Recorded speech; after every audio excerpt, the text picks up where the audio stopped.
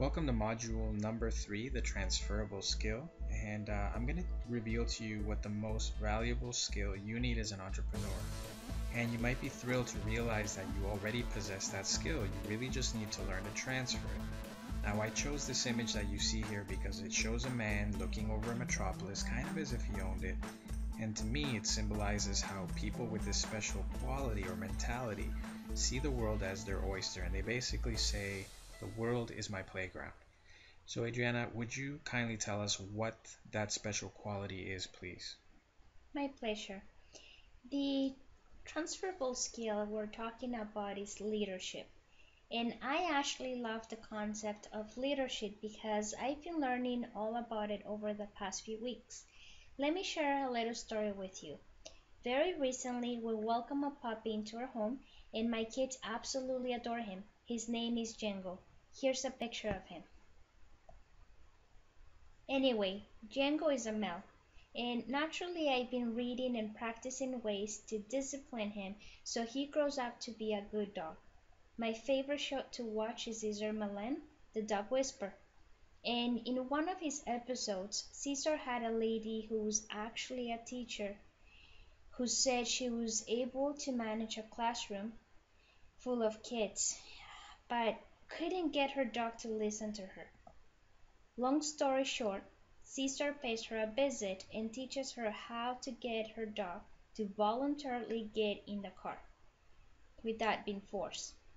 The first thing she said when she successfully did it herself was she couldn't believe it was just like dealing with the kids in her classroom, no different.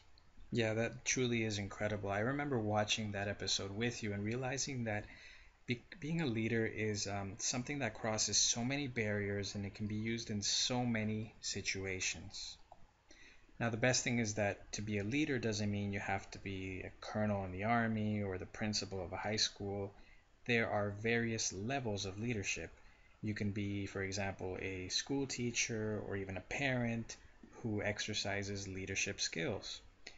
Now, one thing I have noticed from uh, networking with other online marketers is that those who have had success in the corporate world or maybe uh, owned a successful brick and mortar business, they have a natural tendency to succeed a little bit easier and a little bit faster due to their previous leadership experience.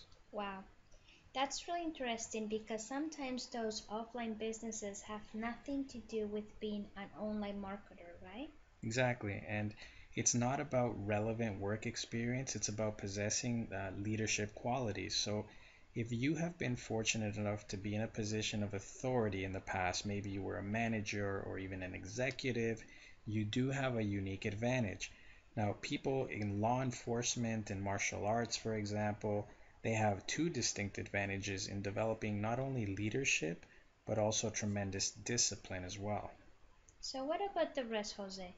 The people who have never been in a position of leadership or authority before, how can they learn to become leaders themselves? It's a great question. Well, I honestly believe that mentoring does make a difference, and that's the reason you and I put together all this training to share with our students and to build them up as leaders as well. Now, I'd say that the best way to become a leader is to be personally mentored by one. So, in other words, to be an apprentice. Kind of like in Star Wars.